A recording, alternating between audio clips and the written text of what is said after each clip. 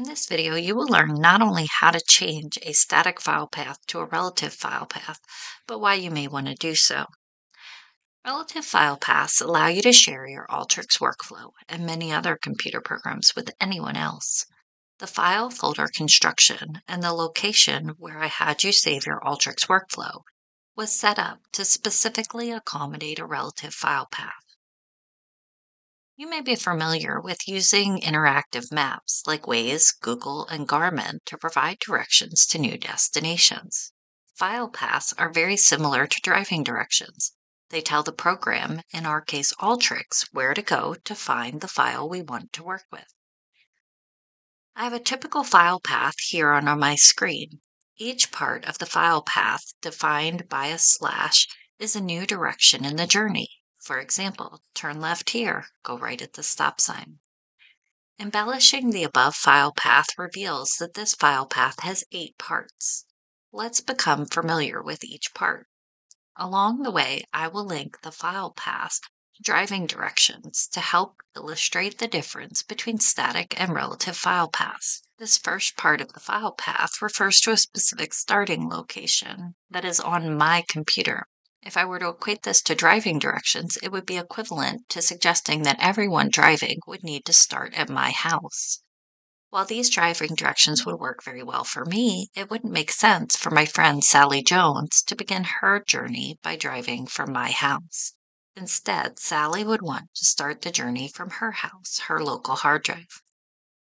Similarly, the next part of the file path refers to where on my file directory I save the project. Most important here is that the ideal file structure had you save the Alteryx workflow in the specific folder for this project in the 10k7 subdirectory. Again, the static file path would point to not only my computer, but my file folder.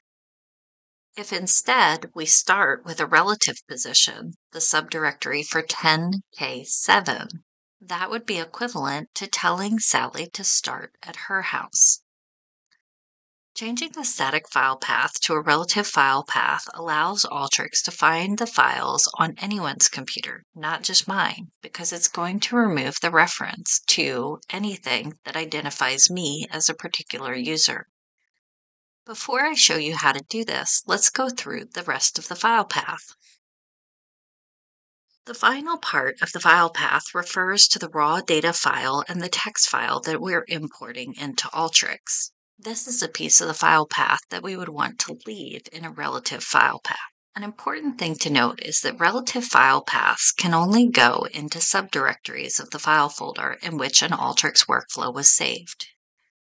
So for example, it can move from the 10K7 file directory where we saved our Alteryx workflow into the subdirectory for raw data to find the text file that we want to import. Relative file paths cannot go into parent directories. So again, beginning with the file folder where we save the Alteryx workflow, 10K7, we cannot use a relative file path to have it go into the parent directories that identify my particular computer. Now that we understand why we want to use a relative file path, and we understand which pieces of the file path should be retained versus those that should be removed in order to achieve a relative file path, let's see how we create this relative file path in Alteryx. Creating a relative file path in Alteryx is relatively straightforward. You just need to remove all of the references to the parts of the file path which refer to a particular user's computer. In addition, you want to remove the part of the file path that is attached to where you have saved the Alteryx workflow. To do so, go ahead and highlight all of the pieces of the file path that refer to the particular computer and the location where the Alteryx workflow is saved, and then hit delete on your keyboard. Once you do so, click anywhere, and you may have to set certain configurations. So go ahead and reset it as a delimited file with none, uncheck the box for the first row contains field names. And then scroll down to verify that your other options, the output file name as a field, the increased field length, the option to treat read errors as warnings, and the code is Unicode UTF-8 are still selected. Then you can use Control S on your keyboard to save your Alteryx workflow and then select Run. Once you've run your Alteryx workflow, you can click on the Input Data tool and then use the results window to verify that the data has once again been properly imported. While relative file paths allow you to share your Alteryx workflow and many other computer programs with anyone else, there are two additional quick hints related to relative file paths. First, don't forget to use relative file paths on all input and output data tools. Otherwise, the Alteryx workflow will only work for some commands data and not others. Also, you should be aware that zipped file folders change the structure of the file. A good analogy to understand this is a water bottle.